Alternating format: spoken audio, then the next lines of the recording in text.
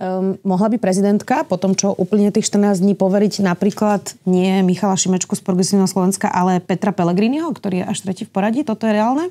No ono to poverenie ani nie je nejaký inštitút, ktorý by bol právom upravený. Je to naozaj vec ústavnej zvyklosti. A v prípade, že napríklad v priebehu, nie je to asi úplne pravdepodobné, ale že by v priebehu tých dvoch týždňov došlo k dohode iných strán, tak pani prezidentka môže teoreticky aj hneď menovať premiéra, či už Michala Šimečku alebo Petra Pellegriniho. Hm.